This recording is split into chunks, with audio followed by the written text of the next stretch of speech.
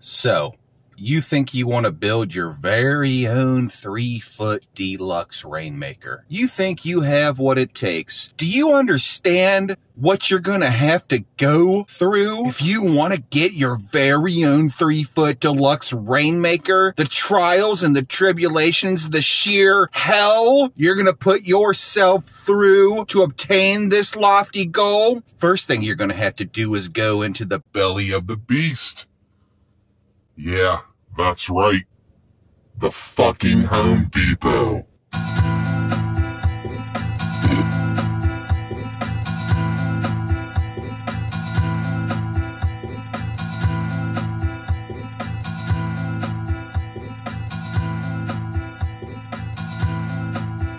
Oh, God. Oh, God, no. Fuck. Shit. Shit, shit, shit, shit, shit. Why? The horror. What's up, buddy? The fucking horror.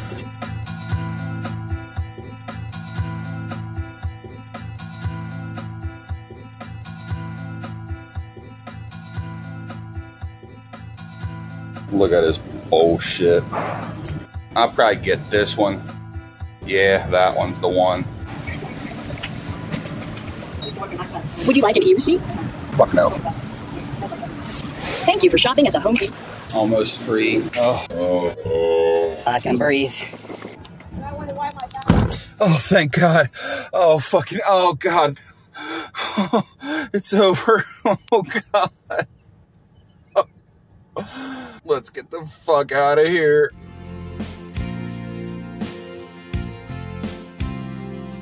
Them baggy sweatpants and the Reeboks with the stripes. She turned around and gave that big booty a smack. She hit the floor,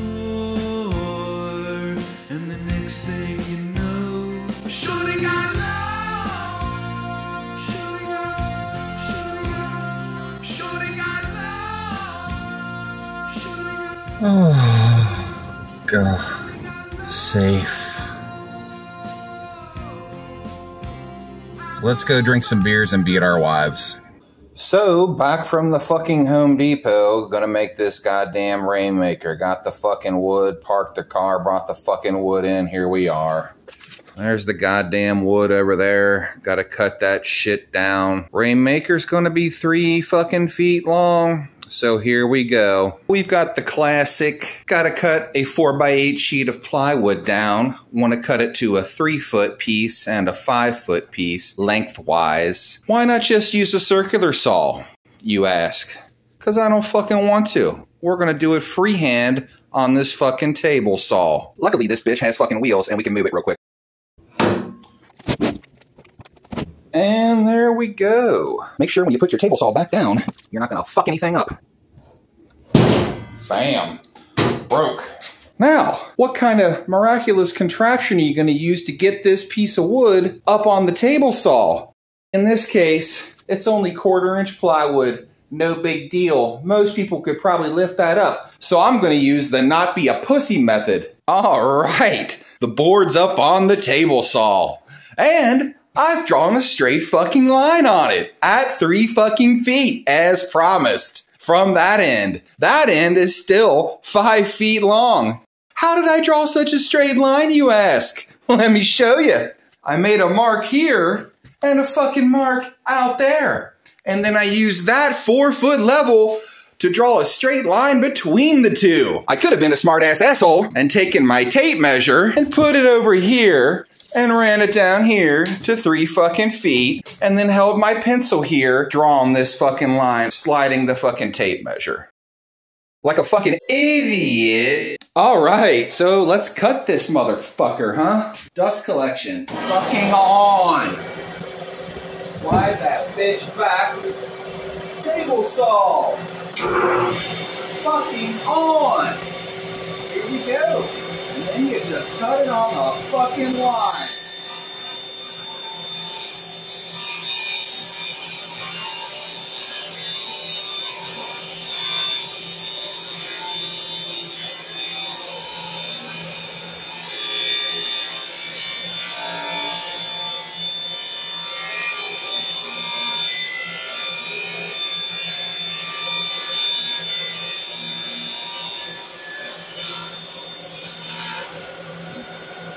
drop it.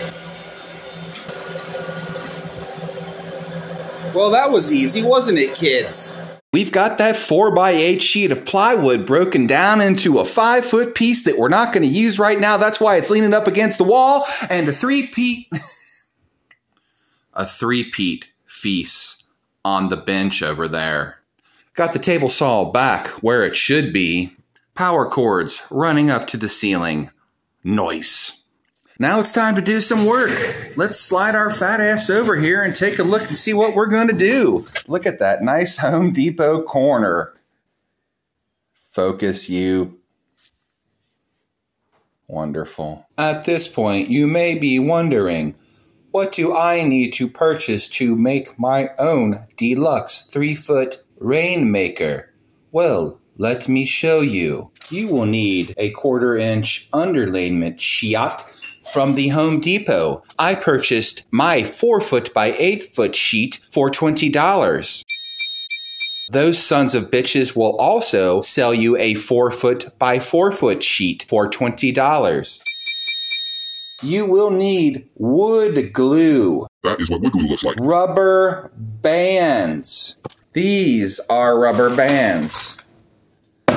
Get you some of. You will need a quarter inch dowel rod, three feet long. You will need a quarter inch metal screen. Looks like quarter inch holes. The beads fall through these holes and make the rain sound.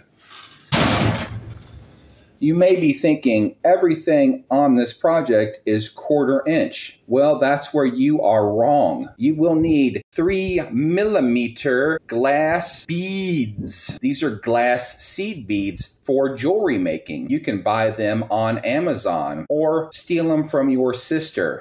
Or you can just use rice. That's what glass beads look like from Taiwan. You will also need the painter's tape a pencil, perhaps a tape measure, and a straight edge. Next step is to cut this shit into one and a half inch wide strips, three feet long. Got the table saw fence set one and a half. Got the blade not so high. Made a custom deluxe push block out of a two by four to push that shit on through. Pushy, pushy, pushy. All right, let's cut these goddamn strips. Dust collection on. Table saw fucking on. Be careful.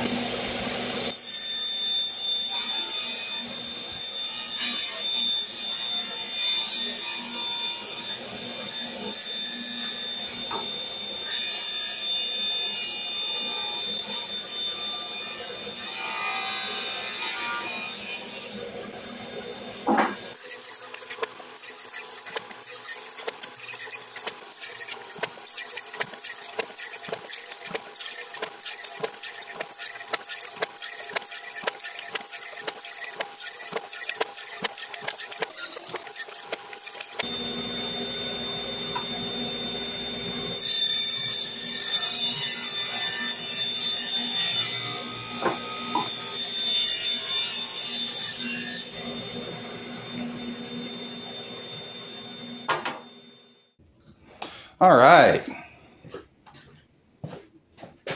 Ah, shit. Ended up with 29 pieces and one skinny piece. We're going to use that skinny piece to do our test cut to find our fucking angle. The rainmaker we're going to be making is going to be eight sided. That's an octagon for all you non high school graduates. How do you figure out the angle to cut it at, you ask? Well, you divide 360 by the number of sides, in our case 8. That gives an angle of 22.5, you stupid ass. Well, let's get this saw set to that 22.5 degree angle. But here's a little tip. You'll never see the inside of this rainmaker. So if we cut the angle a little bit bigger, the outside angles will match up much better. Let's turn that crank. We're going to go for about 23 and a half. 20, 21, 22, 23 and a half. Time to cut our test piece at that 23 and a half angle and see how it fits together.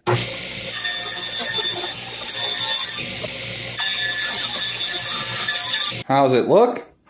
About like that. So I've actually got the saw set back at zero degrees. We're going to cut eight pieces off of our test piece, tape them together, and see how the angle looks. Let's do it. Let's cut that shit end off first. Thanks, Home fucking Depot.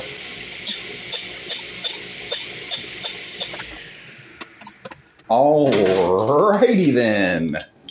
Let's tape these fuckers together. We're gonna put a piece of tape across that shit. Got them all pressed together nice. Cross your fingers so I don't fuck it up. And looks like I did alright. So you can take that shit, curl it up, and see how shitty of a job you did. But uh, we're gonna go with this. See what happens. Fuck yeah, let's cut the real shit. Here we go. Is this starting to look familiar yet? It should be. Well, I'm gonna cut one side and then maybe cut the other side. I don't fucking know. Maybe I'll cut one side on all of them, cut the other side on all of them. Who gives a shit?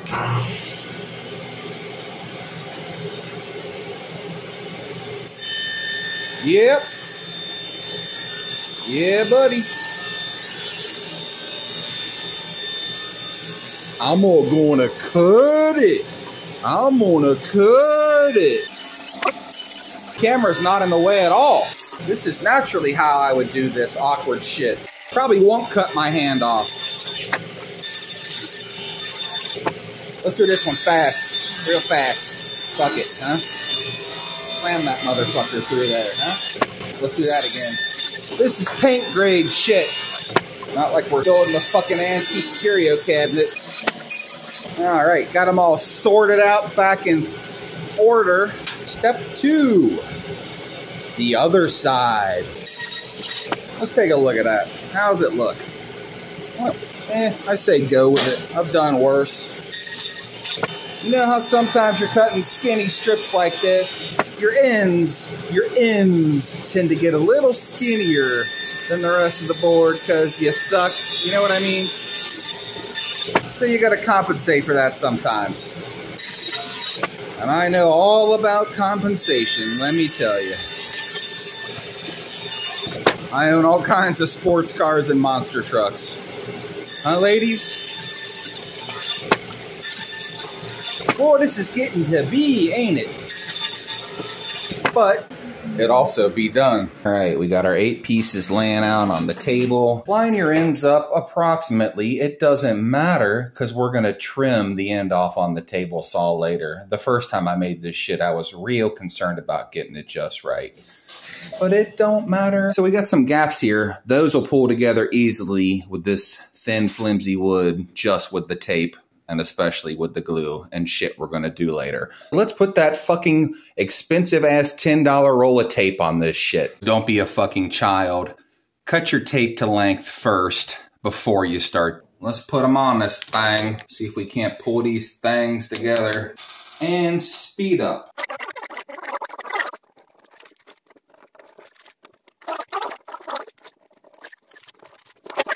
All right. Oh, doesn't that look neat? See all those nice grooves, everybody? That's where we're going to put the glue. That's next. Okay, so they say you should always do a test glue up, but we're not going to. I don't care. I cut these angles extra big. If they don't fit, I don't give a shit. When you're going to glue something with wood glue, get you a dry rag, get you a wet rag because you're going to need both. Open up your impossible to open glue everybody always bitches about, but really they're just too lazy to clean the fucking tip. I hope I got enough glue in here. Whatever. And put a decent amount in the crack. you know what I mean? So anyway, who did you vote for? I like the way you work it. No diggity. Gotta glue it, glue it up. Ah, oh, but you gotta do the end too. Shitty. I'll do both of them because I'm good like that. Alrighty then. Let's curl this fucker up. That's the fun part. In case you didn't know it, here's the fun part, everybody. Here's where you curl it up too tight and the tape comes all popping the fuck off. and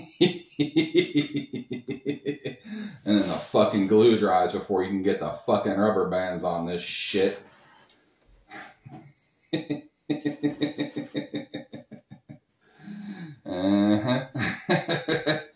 this is a hell of a lot better than the last one I made, I can tell you that. get Get you your first wad of rubber bands. And up. There we go. I fucked it up. Goddamn, too many rubber bands. Shit. Can't stretch. Fuck me. Shit. Oh, I'm fucking it. It slipped inside. It's fucking. Okay. Shit. And there we go. Okay. Let's take a look in this thing. Think I used enough glue? fucking maybe. More rubber bands. Maybe not quite so many. What do you think? Ding, ding, da, ding, ding, squeak, squeak, get dee. You do need a lot of rubber bands. You can also use surgical tubing or bandy clamps or your dad's belt. Maybe your mom's purse strap. Flip it.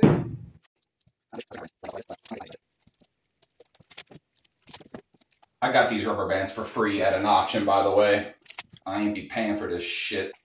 Did you get your rubber bands at an auction? You should have. you fucker. Damn.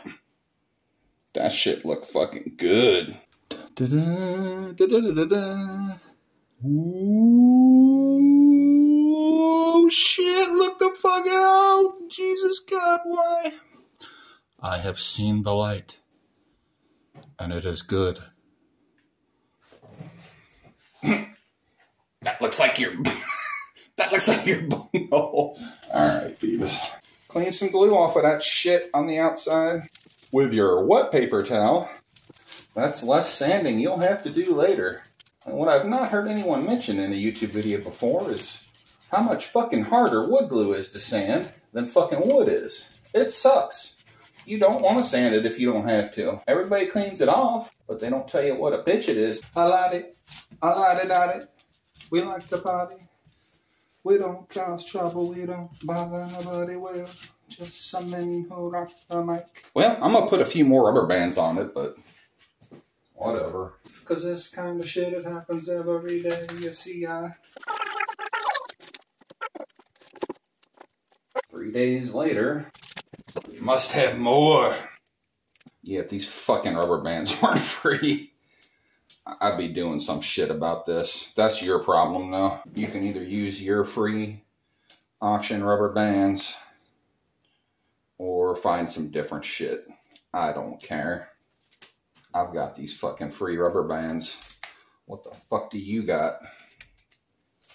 You got nothing, punk. You're fucking silly. And your mom's silly and your father's silly. You're a bunch of silly fucking bastards. That's it. Let this goddamn thing dry for 24 hours. Talk to me tomorrow. The end. Day two. Whoop diddy doo.